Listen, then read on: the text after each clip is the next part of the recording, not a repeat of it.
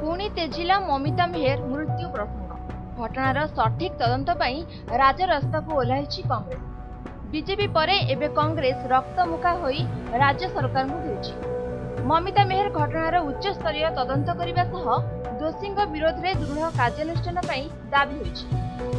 ସେଥିପାଇଁ କଂଗ୍ରେସର ଏକ ସ୍ୱତନ୍ତ୍ର ଟିମ୍ ରାଜ୍ୟପାଳଙ୍କୁ ଭେଟିବା ସହ ଘଟଣାର ନ୍ୟାୟିକ ତଦନ୍ତ ପାଇଁ ଦାବି ଦେଇଛନ୍ତି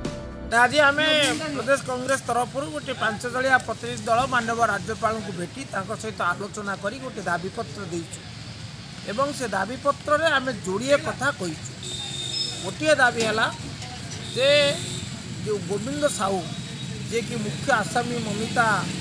বেয়র মর্ডর ঘটনার তাঁর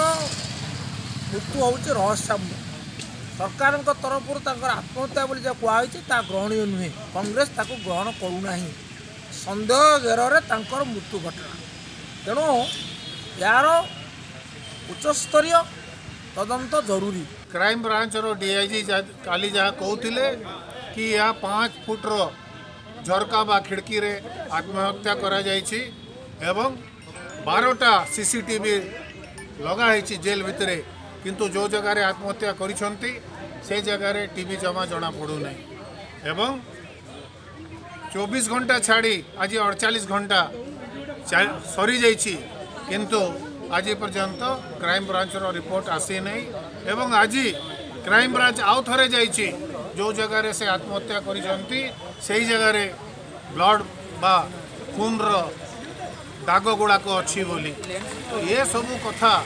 କି ପାଞ୍ଚ ଫୁଟର ଝରକା ସିସିଟିଭି ସେପଟେ ନ ଯିବାର କେଉଁଭଳି ଭାବରେ ସେ ଆତ୍ମହତ୍ୟା କଲେ କେମିତି ବ୍ଲଡ଼ ବାହାରିଲା ଏବଂ ତାଙ୍କର ପକେଟରେ ଗୋଟେ ଖାମ ବାହାରିଛି ସେଥିରେ କ'ଣ ଲେଖା ହେଇଛି ଆଜି ପର୍ଯ୍ୟନ୍ତ